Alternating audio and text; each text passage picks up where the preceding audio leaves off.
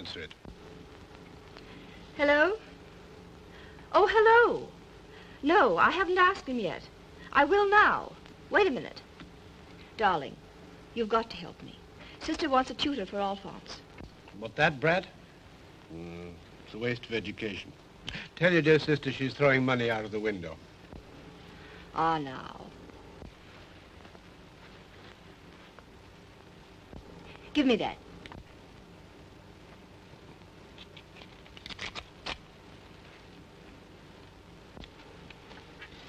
Hello? Oh, Philippe has a marvelous tutor.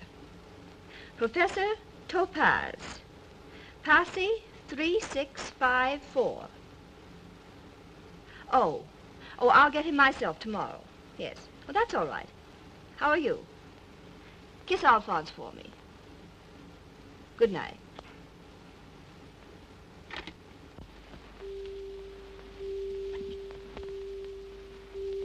Sounds. What's wrong? I have to go. You don't love me anymore. Darling, I adore you. But you know as well as I do that I must get home to my wife.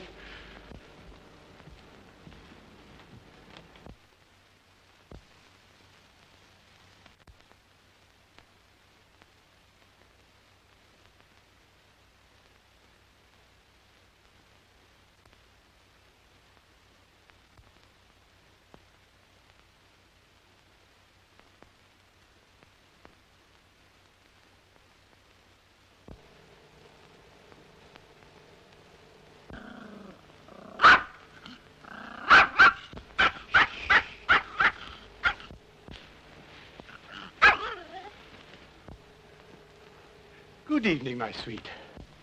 Where have you been? Uh, exhausted, darling. I'm exhausted. I- I've had the most tiring day.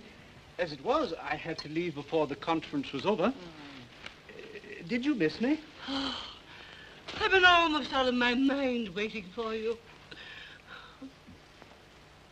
Hortense, I draw the line at sleeping with Max. Now, he has his own bed. Now you leave him alone. He's nervous.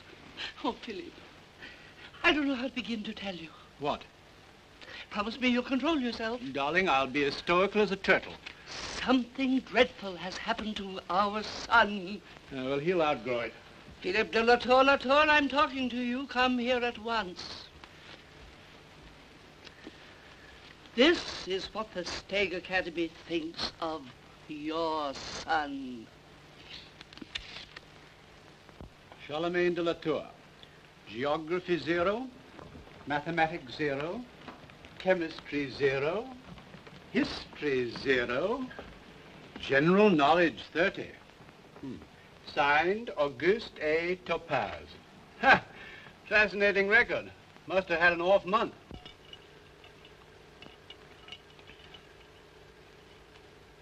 It's a plot against our child. A plot fostered by that creature, what's his name? Topaze. Topaze or not Topaze? That is the question. Ha! This is no time for joking. Has he been eating well? I demand that you see the Minister of Education. Darling, I doubt if he could spare the time for tutoring. You'll drive me mad with your levity. Did I hear you call me, Mama? Yes, darling. How do you do, my fine scholar? I've just been looking over your astonishing record. Philippe, don't make the child cry. I won't cry, Mama. Oh, darling. Now tell your father what you told me. Well, I'm not the idiot that old Professor Topaze is. He, he Uh, go on, dearest. Don't falter. well, he's a communist, and I can prove it. What? Yes, Papa. He's against the rich. He doesn't like me because I'm a Latour. You should try to win him over. Let him try to win me over if he's so smart. Come here, darling. Now you must stop fretting. Philippe, I want this Topaze removed at once. Thanks, Mama. Ah, darling. Does this monster ever beat you? Yes, all the time. Is that so? Where? Oh, oh, my poor baby. Oh, you You heartless father. Oh, my babe. Perhaps we'd all be more comfortable if I used the bed in the other wing. Philippe, your place is here. Darling, I must get some sleep. I have to be up very early.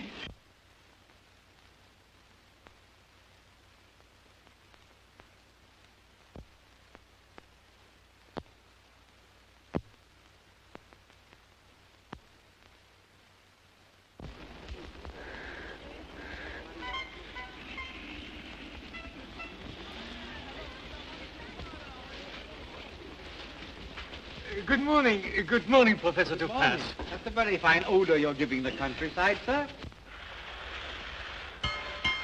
You'll have to excuse me tomorrow, perhaps. Good morning, Dr. Stegg. Just a moment, Dr. Topaze. I have some good news for you. Is it, uh, is it about my raise in salary? Oh, much better. I am pleased to report that owing to my tireless efforts, the highest honors which can be bestowed upon a teacher are now within your grasp. You don't mean the academic palms? Yes.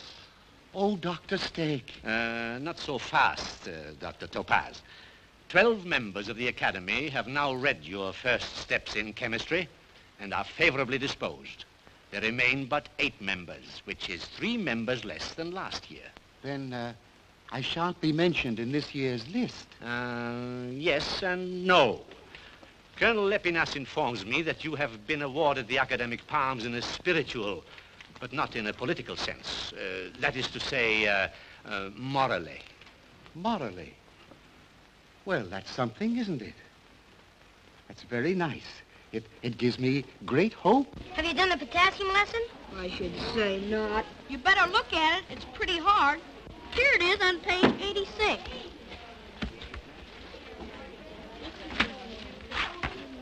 This is what I think of the lesson. Professor Topaze. Will you pardon me? I, I'm a very happy man, and thank you very Uh, much. just a moment, Dr. Topaze. You left the electric light burning in your classroom all last night. Oh, I'm sorry. How could I have done that? Carelessness. You shall have to deduct seven francs from your monthly stipend. Seven francs. What a pity.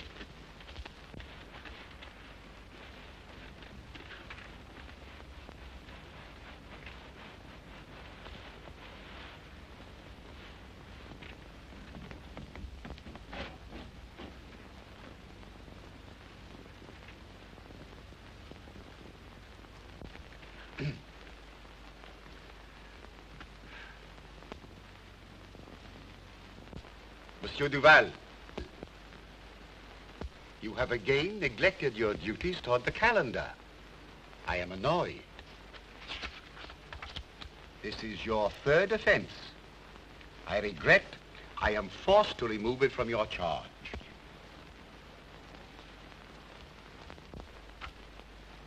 Monsieur Durand, in recognition of your good marks, the calendar is entrusted to your care.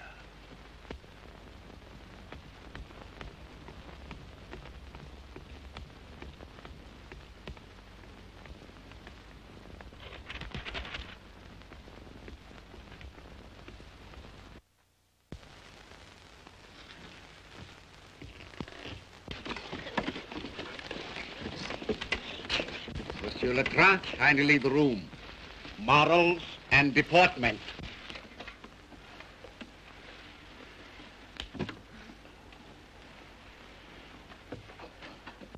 Monsieur,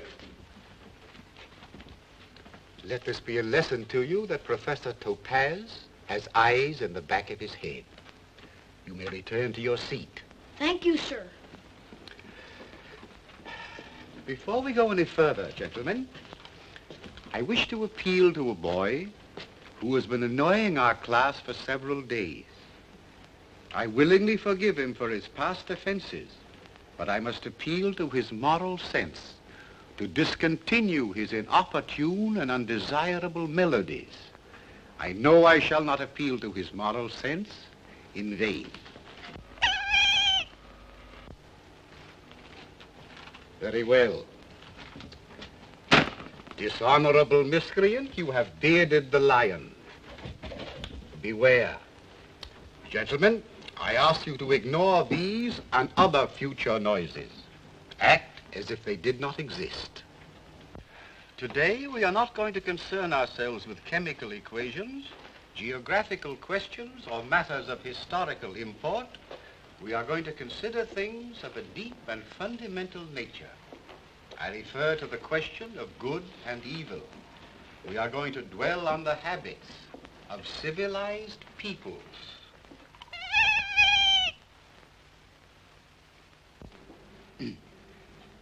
Let us, uh, let us take examples from daily life. Question number one. What must one be to succeed in life? Monsieur Tranche Bobine. To succeed in life, one must be... Han, Han. honest. Honest. Correct. Eminently correct.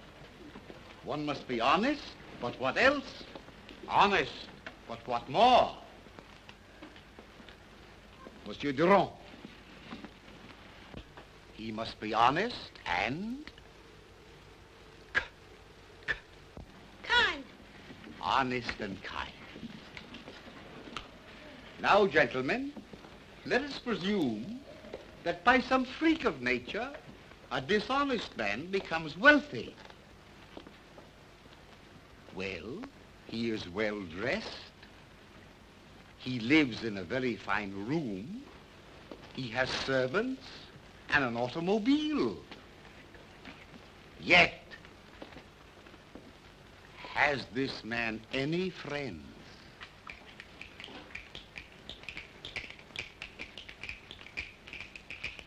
Monsieur Latour Latour.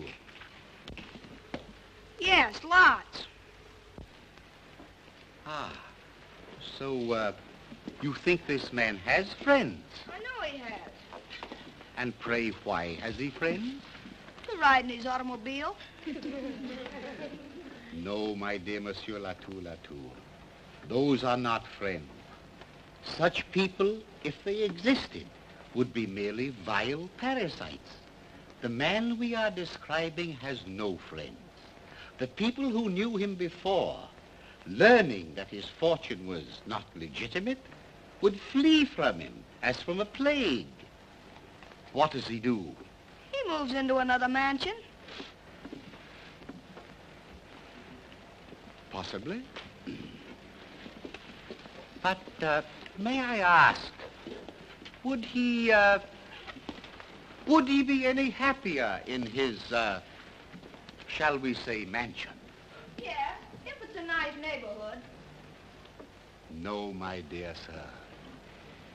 He would be happier in no neighborhood. This dishonest man, wherever he goes, whatever he does, will be inevitably tortured by the disapproval of his... I know, I know, I One know. moment, please, gentlemen. I will give you an opportunity to redeem yourself, Monsieur Latour Latour. The disapproval of his con, con, Constipation?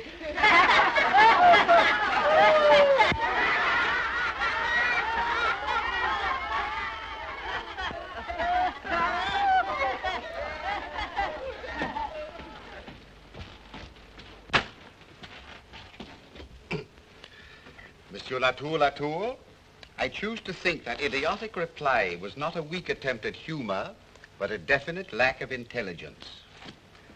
Zero.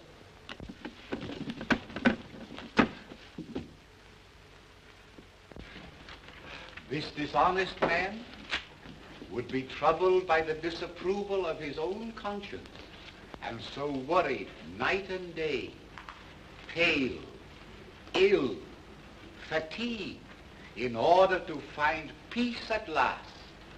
He distributes among the poor his entire fortune as a sign that he has at last understood that ill-gotten gains are not worthwhile. and Money does not bring happiness. exactly.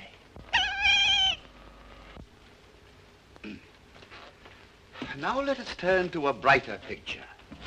What is the fate of the honest man? Monsieur Télinault.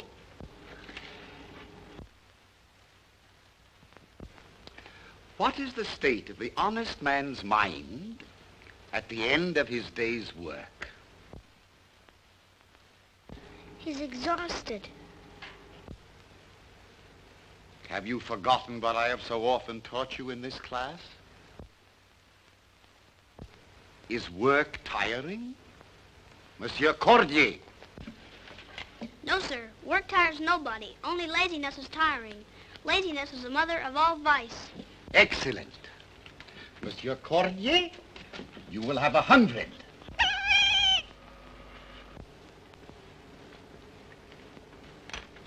Permit me, gentlemen, to elucidate. Let us presume our honest man is a businessman. He will refuse to misrepresent his product. He will scorn unmerited profit and be rewarded by the esteem of all who know him. If a war breaks out and he has the good fortune to be wounded, he will be instantly awarded a decoration by his government. Aha! So, you were foolish enough to mistake my kindness for weakness, my patience for blindness. My young friend, the velvet glove conceals a hand of steel. You see that hand? If you resist it, it will break you. Monsieur Latour, Latour! Stand with your back in the corner. Your, your back to the class. Uh, you are now an object of derision and shame to your comrades.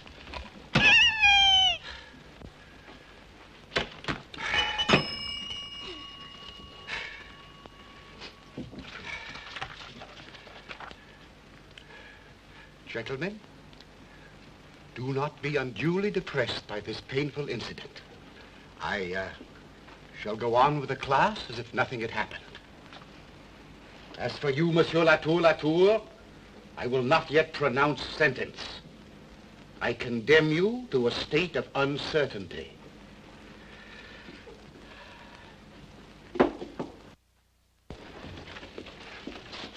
Dr. DeBath, What is it? Bring your report cards to Dr. Stegg's office at once. Does Dr. Stegg know I'm in the middle of my class? At once?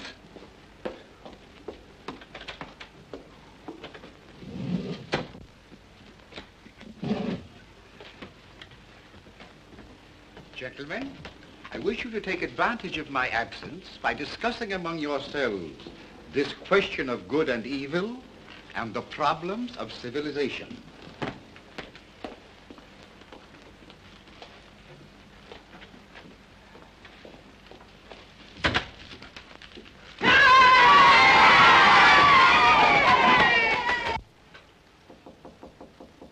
Come in. Close the door.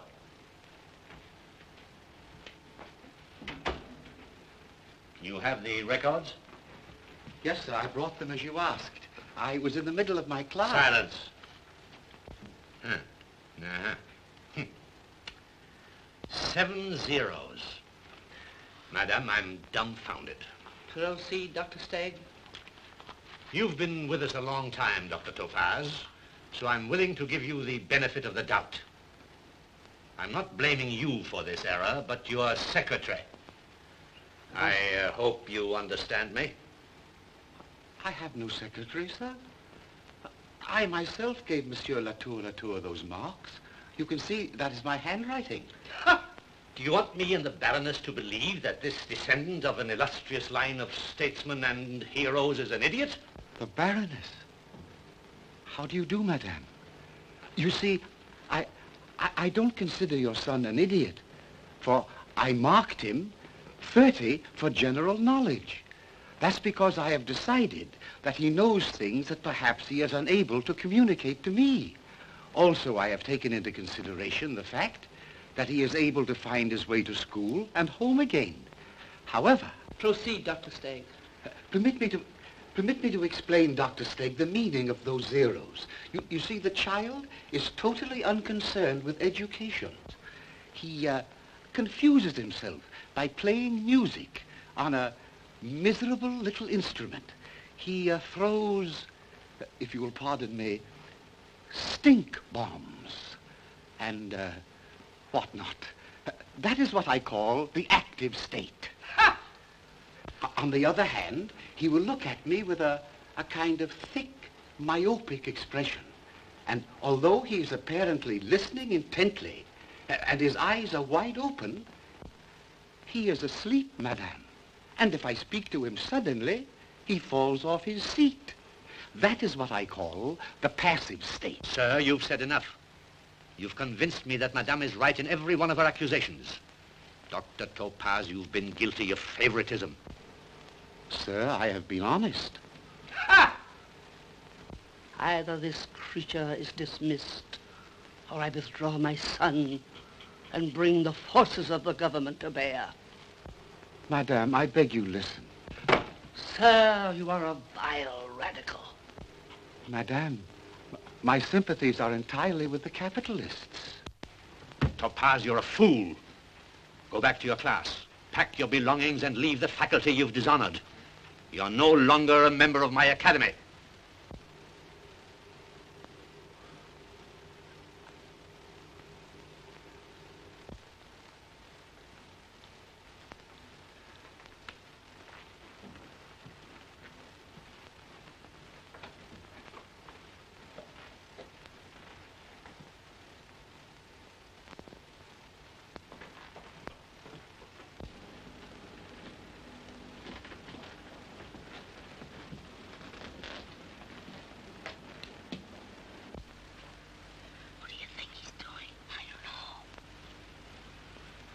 Gentlemen, I wish to assign you your lesson for tomorrow. You, uh, you will come prepared to go further and more exhaustively into the subject of good and evil, basing your course of inquiry on these noble philosophies. Class is adjourned for a brief recess.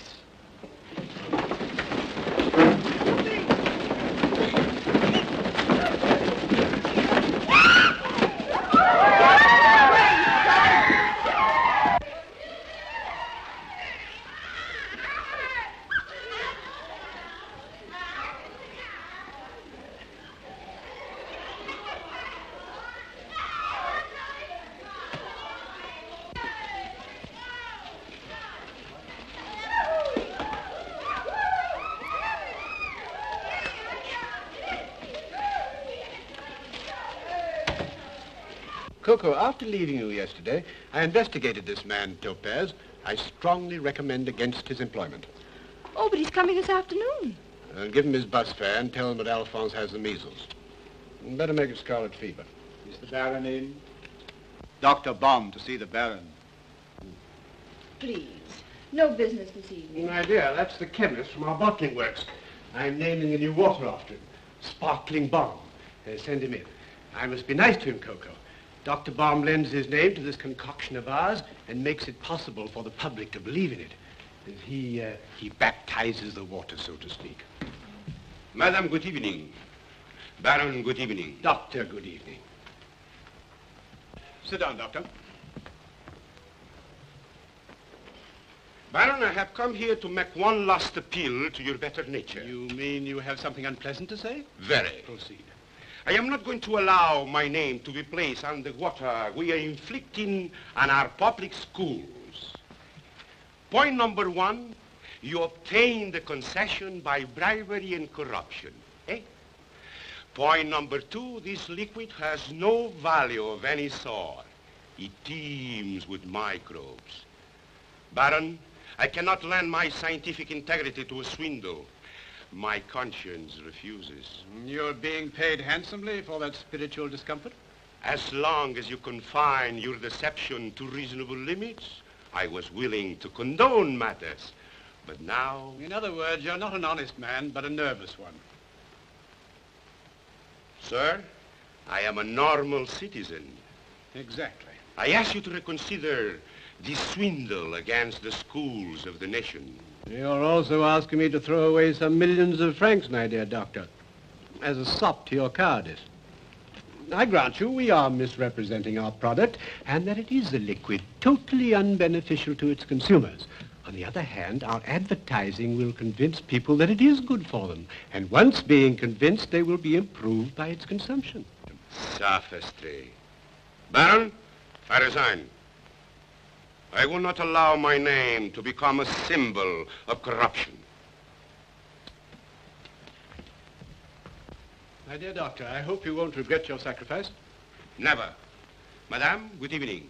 Baron, good evening. I leave this house an honest man. Ah, then let me be the first to congratulate you. I don't think you handled that so well. I could have induced him to stay in a minute by offering to double his 30 pieces of silver. Why didn't you? You can't sell the water without some sort of scientist endorsing it, can you? I dislike and distrust men who are always offering to resell their honor. Bomb's a fool. But You always said that was the sort of man you wanted. No, I was wrong. What I want is an idiot. Either a thorough scoundrel or a complete idiot. And I don't like scoundrels. They're too competitive. But idiots are hard to find, I should think. Oh, no, not in the scientific world. So let us pray, darling, that Providence sends us an idiot. Mademoiselle Darfeuille, Whom shall I announce? Professor Topaze.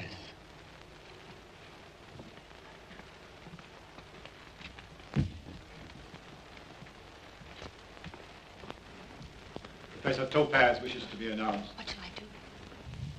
I'm 17 minutes late, and I apologize. Professor Topaze, the bell on Baron Latour Latour. Professor, I'm sorry to tell you that my... How do you do, sir? I had the honor of having your son in my class until this morning. Did you expel him? On the contrary, it was I who was expelled. I take it you were dismissed for refusing to improve his marks. Well, that does seem to have been the chief trouble. It, uh, it's been a day of, misun- of misunderstandings. I, I must confess I'm, uh, I'm a little confused. Sit down, Dr. Topaze. Will you have a cocktail? Hey? A cocktail. Well, I'm not a drinking man, but uh, this being somewhat of an occasion, I should be glad to. Thanks very much. Now tell me, are you particularly anxious to go on teaching? Teaching? Why, yes, of course. That's my profession. Hmm. May I ask, uh, what do you hope to earn by giving lessons as a freelance? I know of one freelance uh, tutor who earns as much as 1,200 francs. A week? A week? no, mademoiselle. A month, unfortunately. Professor Topaze, our little talk has convinced me that you have become the victim of excessive mother love. I? My wife was unjust to you. I wish to repair her offense. I have an offer to make you. I manufacture a curative water. My firm desires to improve upon its medical formula. And at this very moment, we happen to be looking for a scientist whose name and whose brain we can use. Uh, do you think you could rise to such an opportunity? I am, sir, the author of uh, First Steps in Chemistry. Uh, will you be good enough to read the introduction? Permit me, madame, uh, mademoiselle. Uh, begin there, on page three.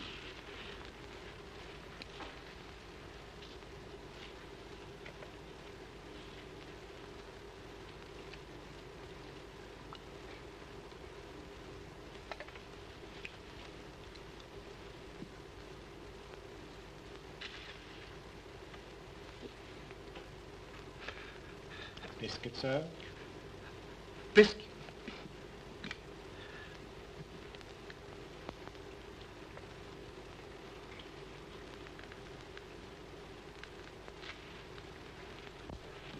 This is splendid. Uh, Professor Topaze, Before we talk business, I'd like to ask you a few questions. Indeed, sir. Uh, to begin with, have you a family? Alas, no. Uh, I'm quite alone in the world. And women? What about women? Women? I mean, have you some uh, wife uh, or whatnot? No, no, no, sir. No wife. And and no whatnot, I assure you.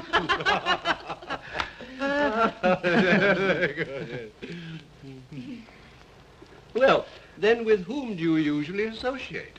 Well, I sometimes see an old army friend. He, uh, he's become a waiter in a cafe now, poor chap. Professor, Providence sent you here. I'll not take no for an answer. I engage you. Your salary will be 4,000 francs to start with. 4,000 francs? A month?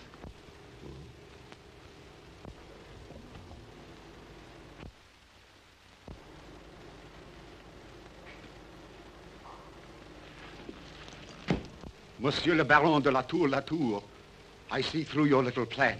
Sir? You can't take me in in this fashion. I may be a simple man, but I am not blind. I refuse your offer. May I ask why? Because it is not in my nature, sir, to accept charity. My dear Professor, charity is the furthest thing from my mind. You see, not only will I derive a handsome profit from the medical formula you invent and endorse, but I shall also be using your name as a slogan. The beverage shall be known as Sparkling Topaze. Ah, splendid. Now, no more nonsense, Professor. You're my consulting chemist and head of the Latour Chemical Works.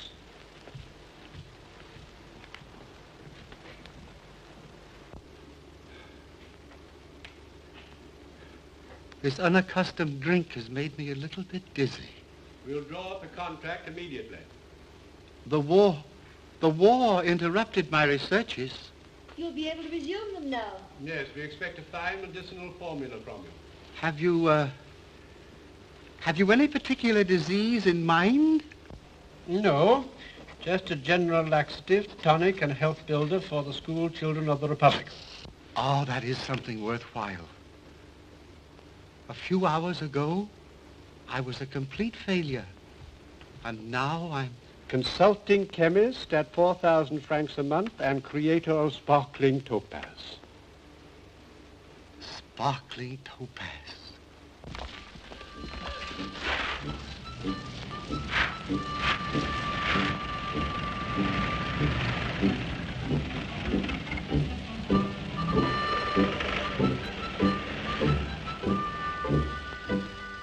Doesn't he know you have been selling tap water to the whole nation under his name and with his endorsement? He knows nothing. He fancies we're distributing a sparkling water invented by him. He's in there now, pottering round with improvements on his formula. Hmm, Here's his latest creation. Is it any good? Topaze assures me it does amazing things to the kidneys and other vital organs. Good. It should be. It costs 40 francs a bottle. Hmm. Yes, I'm glad you like it. Of course, I prefer our own sparkling topaze at two francs. Come and see his playground. It's a veritable inferno.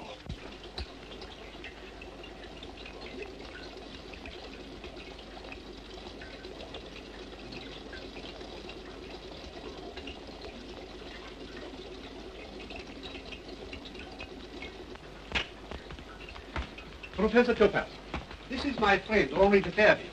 He's a very prominent politician. Oh, how do you do, sir? Ah, Professor.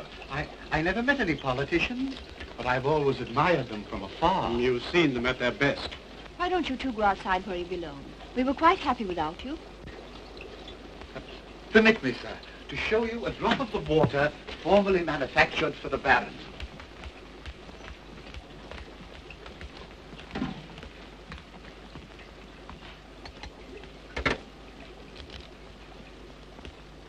Thank you.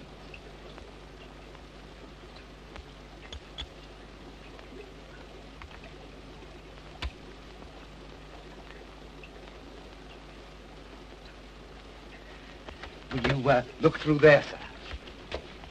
Notice the abundance of animal life. Promiscuous little devils. Seven million in every drop. Now, now here is the drop of the new water, distilled three times, containing phosphates, iron, and innumerable vitamins.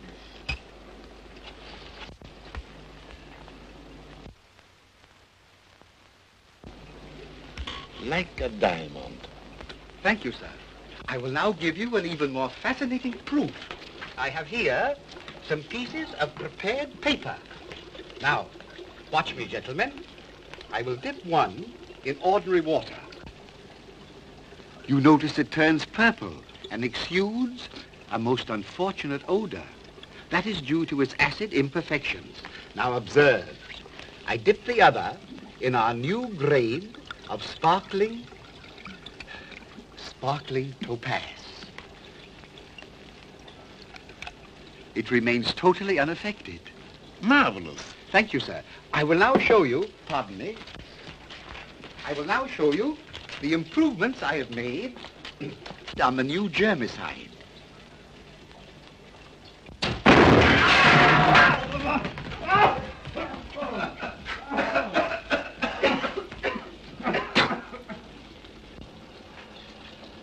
What a pity that was unexpected. Are you hurt? That was my fault. I left some acid in the jar. Pardon me.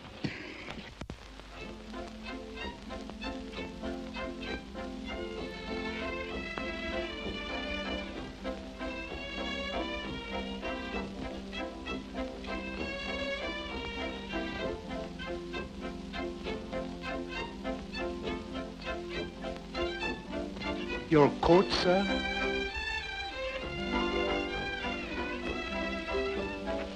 Oh, excuse me, please. Your hat.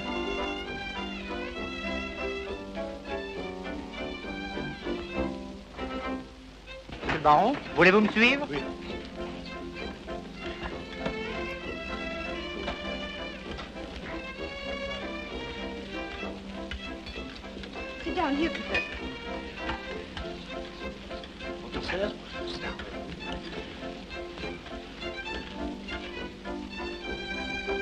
Oh, may I? Look.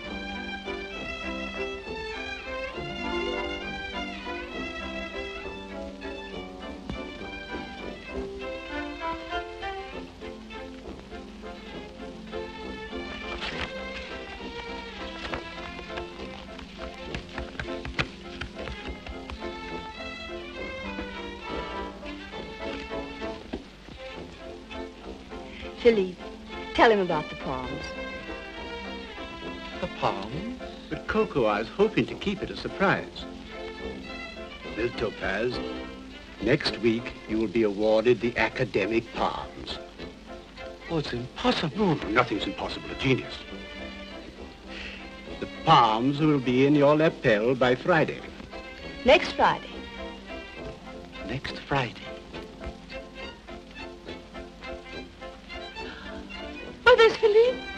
My dear? You know that woman? Who, I? No. Madame, monsieur? Would you uh, like to play the music? No. Philippe shall play some music. To the academic palms. Baron.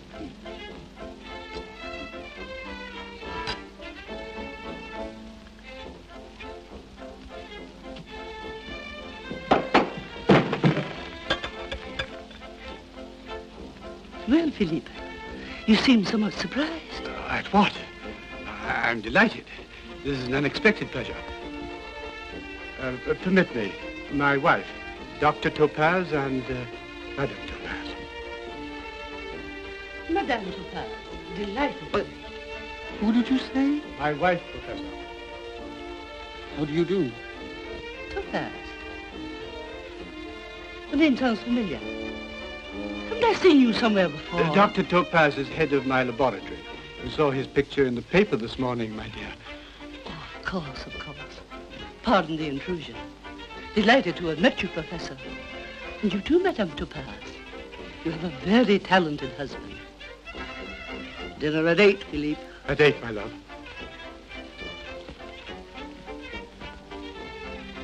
She didn't recognize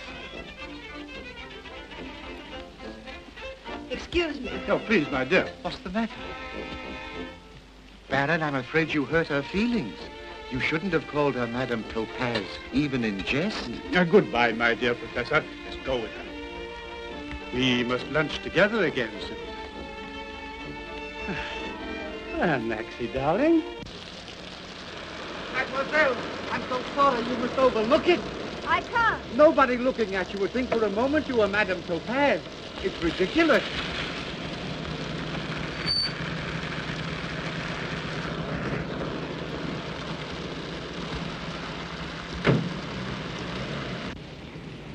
Where are we going?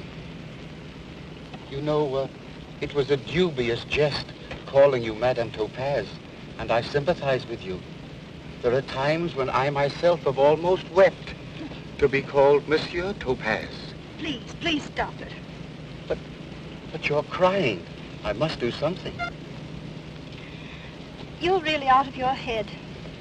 Hey? Yes, you're insane. Completely insane. Oh, I I think you misjudge me a little. Do you want to know why I left the table? You had nothing to do with it. Good heavens, I wasn't even thinking of you. But now you're just being kind. Oh, stop babbling like a child. I'm as sensible as ever. Professor, you're deaf, dumb, and blind. The Baron introduced me to his wife as Madame Topaze because he was frightened out of his wits Of what? of her finding out, of her even suspecting something. The way he turned pale and shivered in his boots, palming me off as Madame Topaze. Shivered in his boots? May I ask why he should do that? Because he's my lover.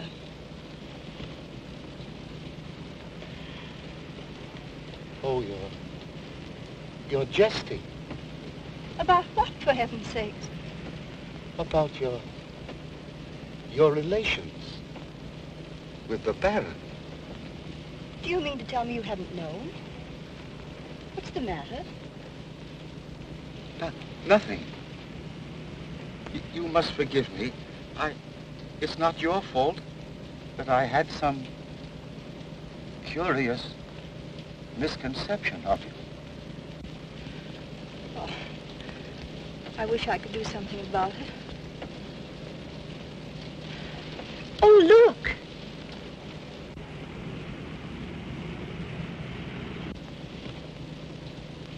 You're no longer a little schoolmaster. You're a great man now. I don't feel like a great man.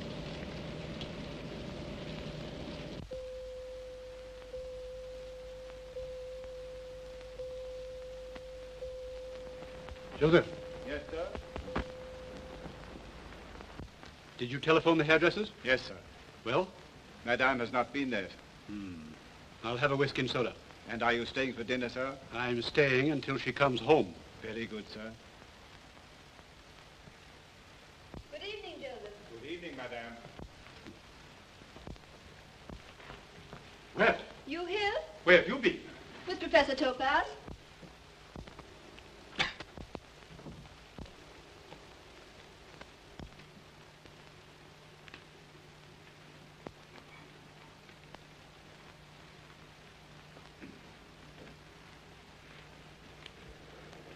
Just a moment, Topaze.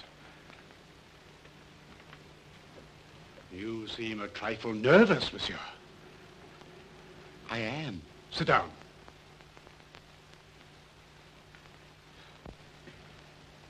What's the matter? Why are you looking at me like that? What have you been doing? Nothing. Topaze, until this moment, you seemed an honorable man. What's changed you? I will be frank. I thought so. And you could do a thing to me like this after what I've done for you. I, I've done nothing. Now you wish to deny it. Out with it, Topaze. Where have you been with Coco? to the cinema. What? Yes. Ah! Very pretty. May I ask what picture you saw? Why, yes. It was entitled Women of Passion. You know, I never imagined that people comported themselves in that manner. Although innocent of any wrongdoing, she was driven into the street where the Argentine was waiting. Now, quite unaware that he'd made this bet, she foolishly accompanied him. Forgive me, Professor. You belong in a fable. Huh?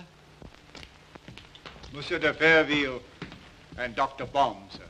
Philippe, you must do something or we are ruined. Ruined? I doubt it.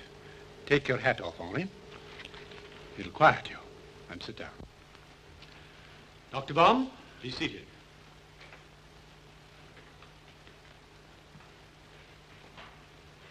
Will you excuse us for a few moments, Dr. Topaze?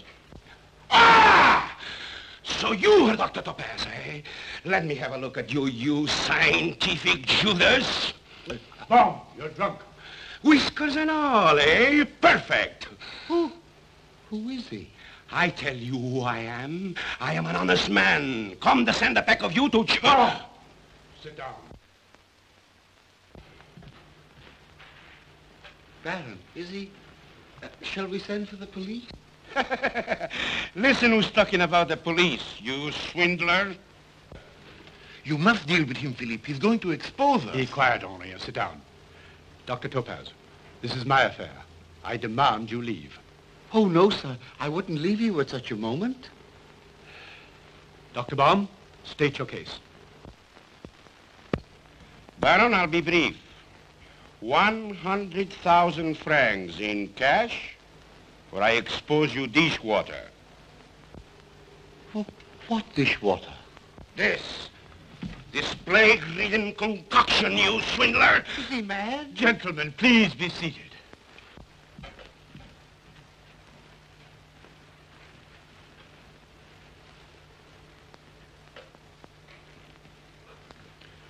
May I trouble you, Henri?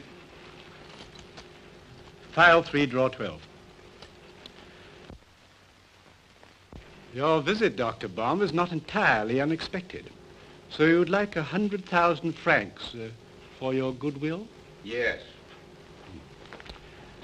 And here, my foolish fellow, are what in melodrama are known as the papers. I am in no mood for jokes.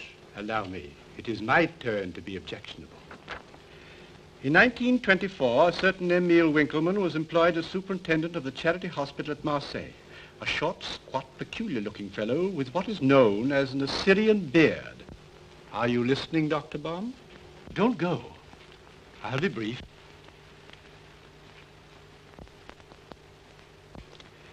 We skip to page 8, and we find December the 4th, 1925, this same Emil Winkleman, beard and all, vanishes from the charity hospital, and with him a magnificent sum of money belonging to the state. There's a great hue and cry, but Emile is never seen or heard of again. However, on September the 22nd, 1927, there arrives in Paris a short, squat, but smooth-shaven fellow with a pigmentary mole on his right cheek, who soon finds employment as a chemist, and under the name of... So you intend to blackmail me, huh? With the greatest of reluctance and only in self-defense. Baron, you're the most impudent scoundrel that I ever known. Dr. Bomb, I'm impervious to flattery. As for you, you sentimental swindler, enjoy your ill-gotten gains, while in your sin. But the world knows what you are, a fake, a thief. Topaze is a thief. Put that in your sign. Topaze is a thief. Topaze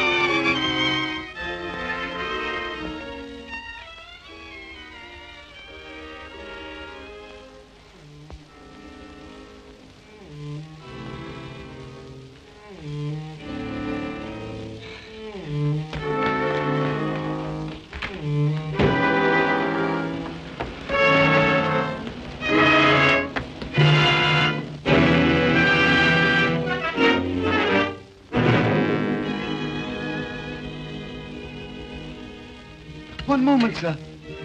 Pardon me. Dis donc, nom de Dieu, quelle m'a foutu là Je vais t'appeler la police là, hein Oh, sale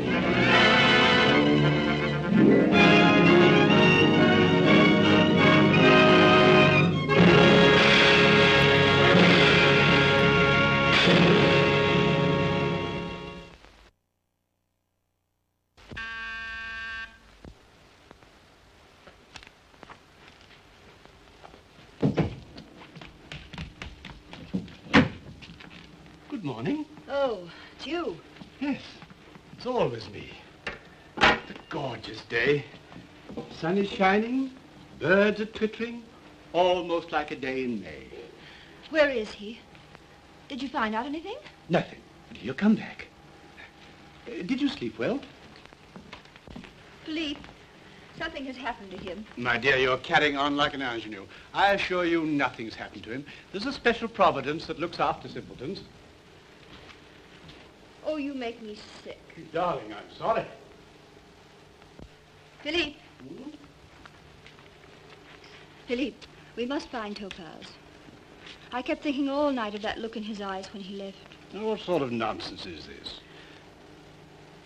Why, I swear you're crying. I never heard of such a thing. Why, darling. No, no, don't touch me. I can't. Not with him lying dead somewhere, surrounded by cats. Cats? Good morning, sir.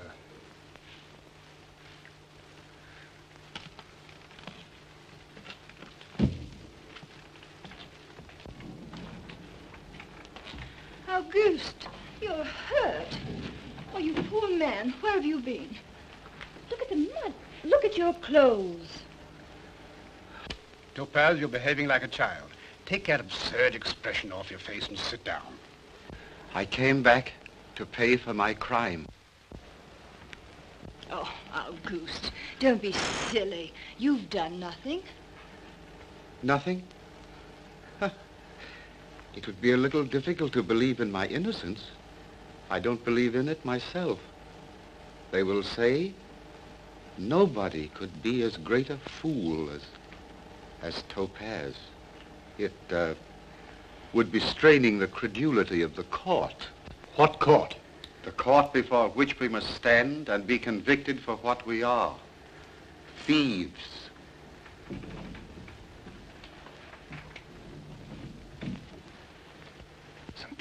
Dr. Topaze. Who? Quite a delegation, sir. Some are in uniform. The police. Tell them. Tell them I'm ready. Just a moment. I'll see them. Oh, here we are. Ah, Honey. Bonjour, mon colonel. Colonel. So you came back to share our fate? Yes. You silly creature. You're so foolish you make me ashamed. Well, my fine criminal, are you ready for the police? I am. Gentlemen.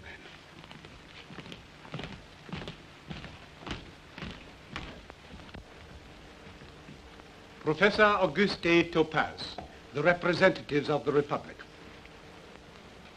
Professor Topaze, I've been delegated to confer on you, all too tardily, that honor which you have merited by your work in the field of science, the academic palms. The, uh, the, the palms.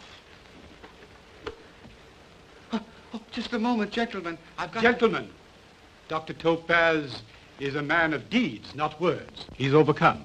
Out of respect for his feelings, gentlemen, will you make the ceremony as brief as possible? What's the matter with him? He's drunk. Hurry up. Professor Auguste A. Topaze, teacher, scholar, scientist, and author, for your diligence, for your learning, for your humanitarian labor as head of the Latour Chemical Works, I, Henri de Fairville, in the name of the Republic, confer on you the insignia of the academic palms.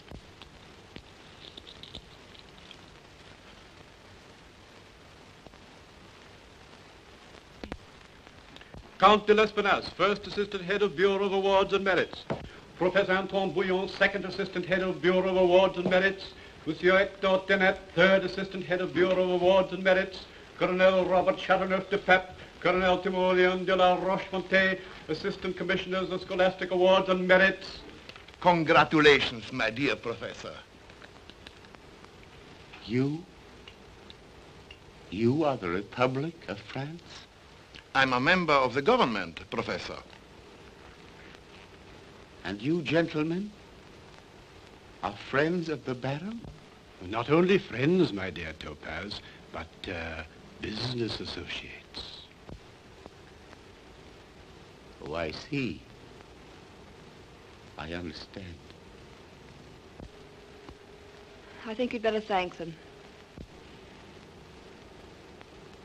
Thank you, gentlemen. Thank you very much. Speech! Speech! Speech! Speech! Speech! Speech!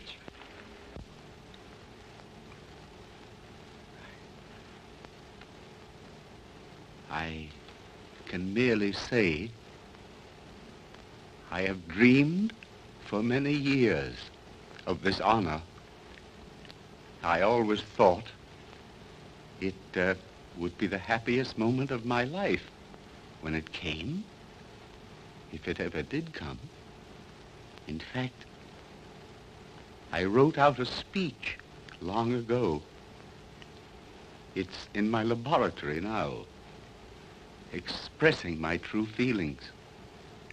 But uh, it wouldn't fit. It would sound too humorous. I, uh, I am afraid I have outgrown that oration in the last few moments. So you will forgive me for not speaking it. I would rather say merely, thank you, gentlemen. It is more than I deserve. Bravo, bravo, bravo, bravo.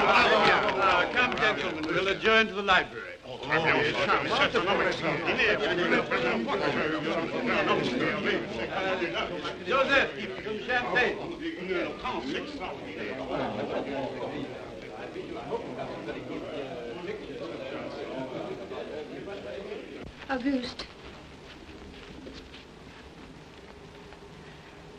You were a great man without them. No. Now I'm what they call a great man. I am not Topaze. Topaze lies dead in an alley. Look. Can't you see how different I am? I'm a distinguished scientist. I am a man of honor. I have been decorated by the Republic. I wear the palms.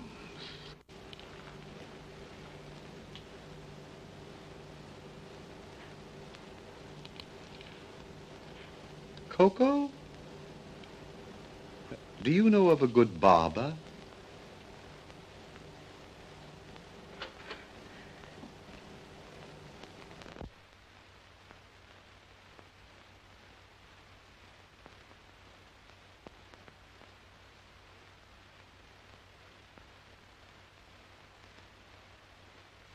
Very becoming, Auguste. Do you, do you like it? Ravishing. Perfect.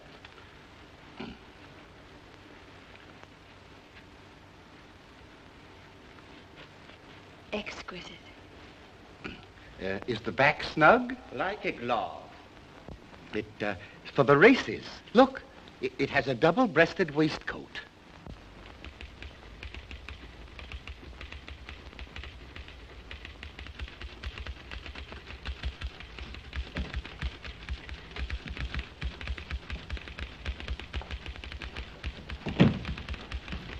I trust you're comfortable, sir? Oh, you do, eh? Dr. Topaze sends word. He will contact you in five minutes. Well, I'm on it. Now listen, you incarnate prickly heat. Ask Topaze what he means by making me wait 25 minutes. The man has delusions of grandeur.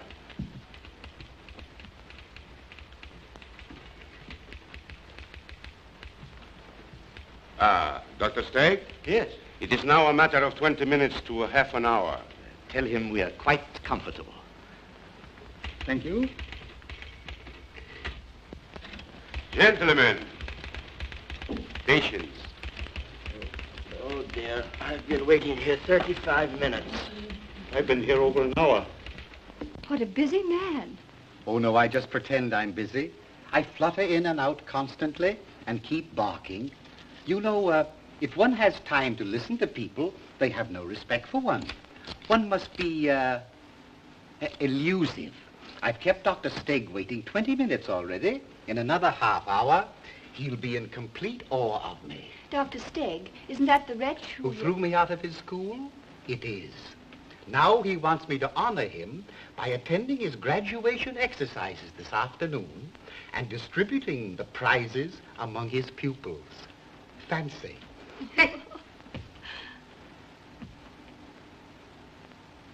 Would you like to come along? Oh, that'll be fun. But you might have called for me instead of summoning me here like a tyrant. It's better manners. My dear Coco, in a crisis, one omits a bow or two. You're in a crisis. Well, not yet, but in a few minutes. I'd, uh, I'd love to share a crisis with you. Do you mind if I sit here? It, uh, it makes me feel more effective. Do be effective.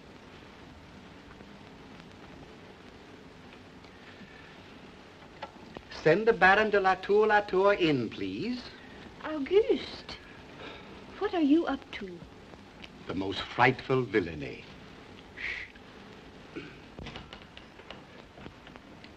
I'm sorry to have kept you waiting. I don't mind humoring you, Topaze, but don't overdo it. Well, what are you doing here? Visiting? I sent for her. I have a matter of grave importance to take up, sir. Hmm, what a man. Always flinging matters of grave importance at my head. Coco, do you mind sitting over there so I can't see you? Certainly not. Is, is this the crisis? It begins now. Oh, what sort of uh, charades are these? I am just uh, trying to think how to begin the matter A of... uh, disciple of mine should always come to the point, immediately. Thank you, sir.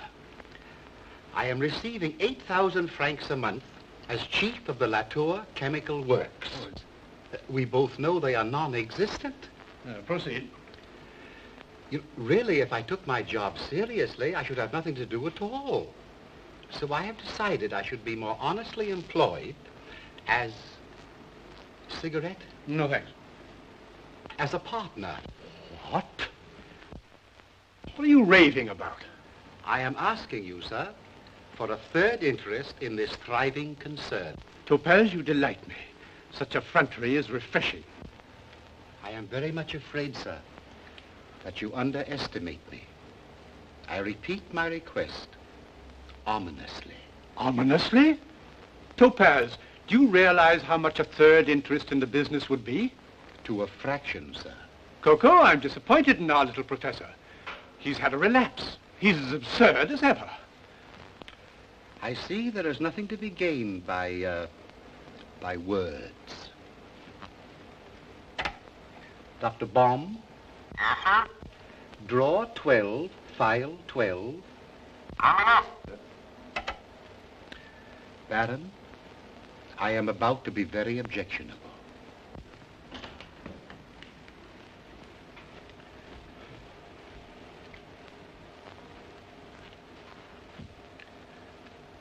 Here, as they say in melodrama, are the papers. You uh, will find written out here a complete report of uh, your relations with Coco. Dates, sayings, and doings. Oh. Uh, your stock in this firm is in your wife's name. And uh, your wife, if I may say so, is uh, a very formidable woman. When she reads this fascinating data, her subsequent antics are easy to imagine. You're the most impudent scoundrel I've ever known. Sir, I am impervious to flattery.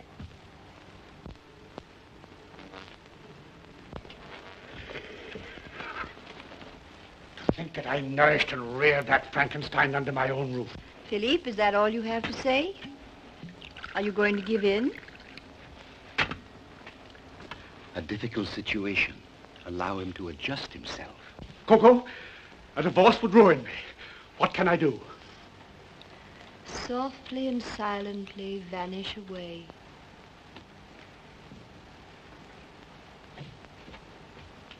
I uh, have taken the liberty of drawing up a partnership contract. Blackmailer. A pen, sir.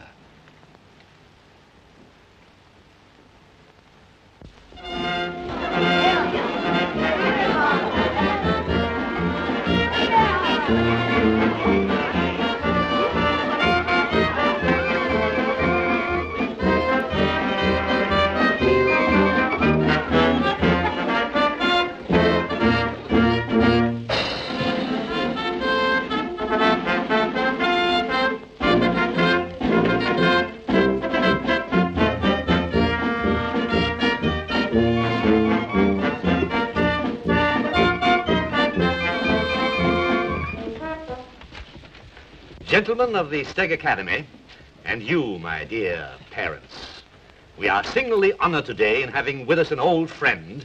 Uh, I'm sure we can all call you friend. An old friend whom I've induced to return to the scene of his first success.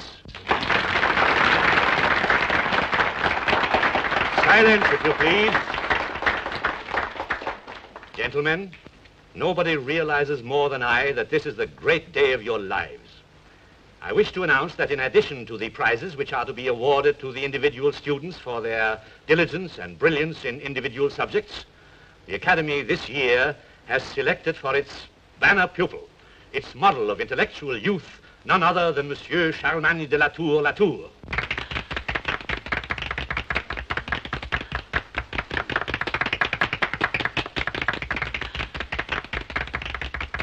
And now the moment arrives which you've all been waiting for. I have the great privilege and high honor to introduce to you the distributor of the prizes, the beloved scientific genius of the Republic, my very good friend.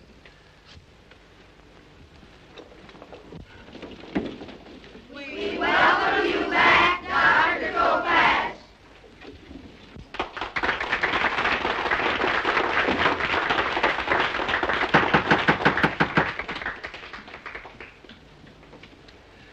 Gentlemen, dear ladies, Dr. Stegg, members of the faculty.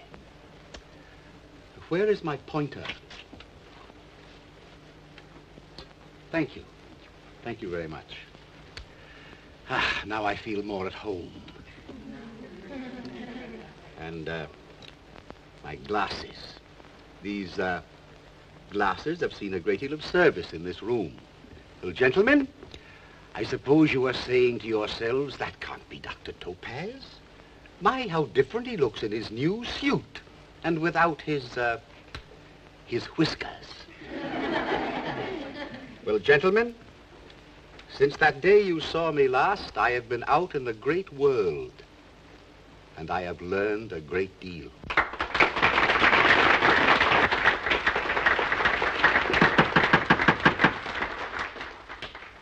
You have noted, gentlemen, that I have changed. But it pleases me to see that here nothing has altered. The mottos, they are all the same.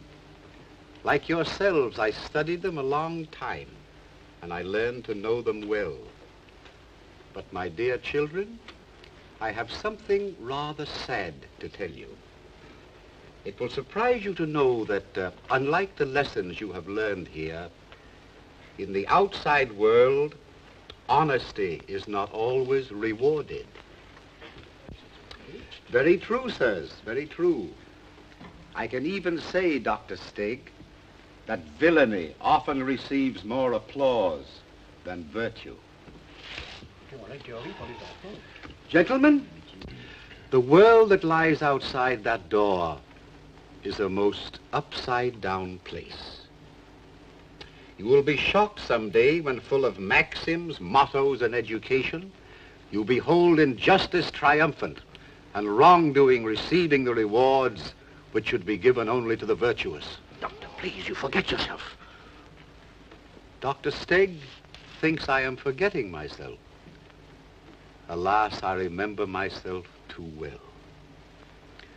Gentlemen, regardless of what the world outside is like, within these walls which are still dear to me, injustice shall not triumph, nor wrongdoers be rewarded. I have been instructed to deliver the highest school honors for diligence, deportment, and talent to one Charlemagne de la Tour Latour. Monsieur de la Tour Latour, kindly step forward.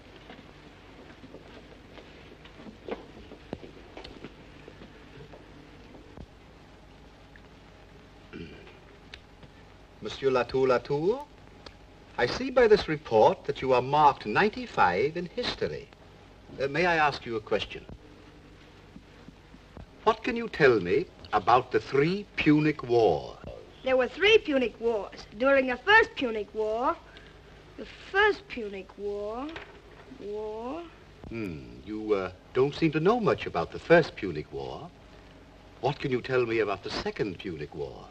After the First Punic War came the Second Punic War. The Second Punic War. Let us proceed to the Third Punic War. After the First Punic War came the Second Punic War. And after the Second Punic War came the Third Punic War. A very scintillant deduction. Proceed. During the Third Punic War... They burned Carthage. They burned Carthage. They had a war. Zero. Zero. Zero. You may return to your seat.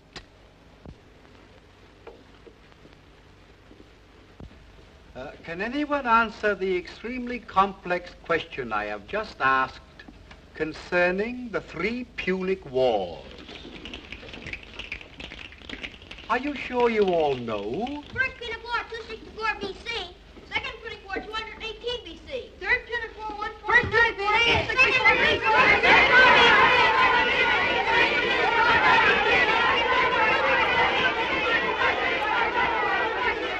Excellent. Excellent. Excellent. Thank you very much. Have you were the prize, Dr. Stegg?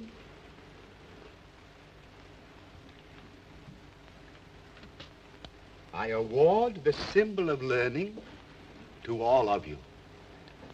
I give it you with the request that when you have entered the world and witnessed there the strange evidences of amazing injustice, you will remember that once at least through the unworthy hand of Professor Topaze, virtue triumphed and honesty was rewarded as read the mottos on these old walls.